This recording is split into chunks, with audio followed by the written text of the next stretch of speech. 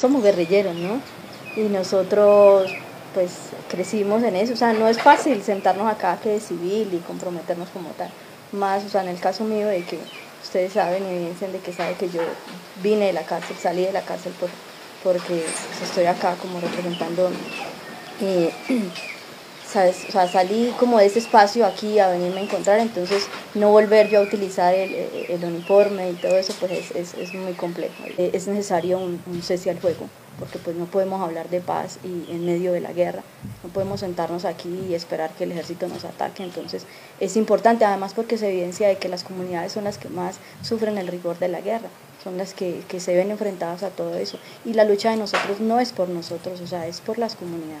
Lo planteamos también acá en el Cauca porque pues es una parte donde más se, evidencia eh, lo de la guerra, lo de otros grupos, lo de, lo de la, la, las FARC como tal. Entonces yo creo que es muy importante que nosotros estemos, igual siempre hemos hablado de construir una agenda con las comunidades, de la que las comunidades participen. Entonces creo que es muy importante de eso, de, de, de, de que nosotros o sea, estemos en las zonas donde más se se vea evidenciada todo, todo lo que se, se vive últimamente.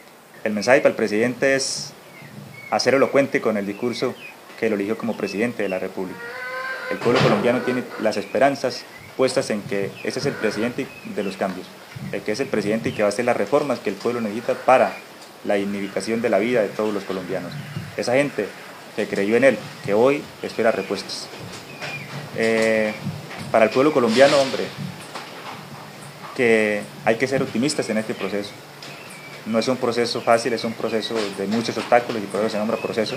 Dificultades van a haber muchas, trompiezos van a haber miles, pero siempre se nos ha dicho, y es así, nosotros nos corresponde hacer las cosas difíciles. Las cosas fáciles las hacen las personas del común todos los días. Entonces nos corresponde en este, en este momento sentar un precedente y decirte que los colombianos estamos hechos para grandes cosas, que los colombianos estamos hechos para transformar el campo, los colombianos estamos hechos para producir, para ser un país potencia mundial de la vida, como es el lema del, del, del, del gobierno hoy, pero que no se ve reflejado en hechos reales.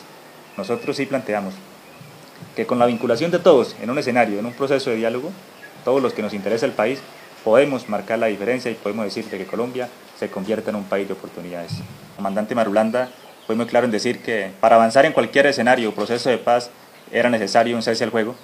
No tiene lógica que mientras unos conversamos, otros en la selva estamos enfrentados. Entonces nosotros consideramos de que, y más porque brindan el alivio humanitario a las comunidades donde se vive en carne propia las consecuencias de la confrontación armada. Entonces siempre hemos sido muy enfáticos en decir que antes de cualquier escenario de diálogo debe haber un cese al juego.